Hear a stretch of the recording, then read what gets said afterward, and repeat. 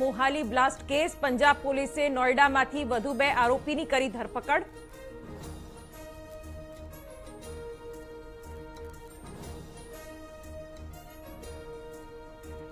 દિલ્હી અગ્નિકાંડમાં બેદરકારો સામે લેવાશે કડક પગલા. અરવિંદ કેજરીવાલે સહાયની પણ કરી જાહેરાત.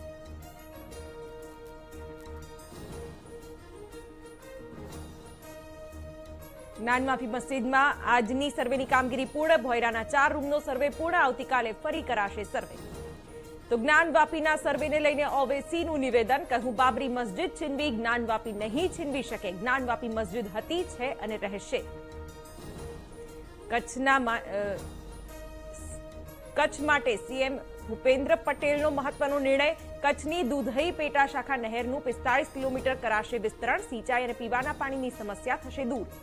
એનએસયુઆઈ અને યુથ કોંગ્રેસના આગેવાનો જોડાયા ભાજપમાં. સુરેન્દ્રનગર, ચોટીલા, લીંબડીના એનએસયુઆઈના પ્રભારીઓએ કર્યા કેસરિયા. કોંગ્રેસમાં જૂથવાદ અને અવગણનાને કારણે છોડ્યો પક્ષ.